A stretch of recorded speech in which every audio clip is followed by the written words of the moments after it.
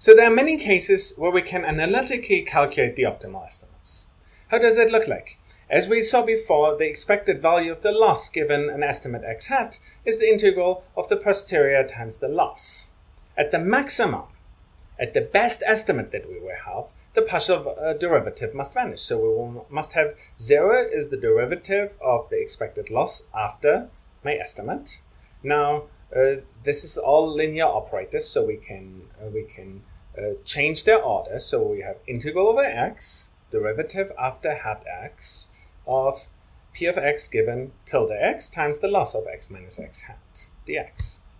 We can continue reforming that one of the factors doesn't even depend on x hat, so we can therefore move this one further to the right. So if 0 must be integral of x, p of x given tilde x, and now we have the derivative of the loss after x hat. And for the quadratic loss, we can directly put that in. 0 has got to be integral over x of the posterior times 2x minus x hat dx, which is minus 2, uh, which is 2x hat minus this integral term that we see here.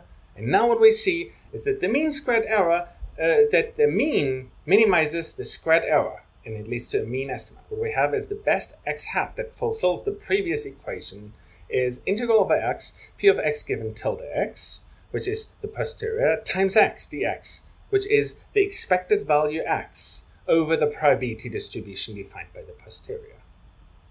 So you can use similar calculations. The absolute error produces the median, and the 0-1 error produces the mode. Now it's time to check if these calculations are right numerically.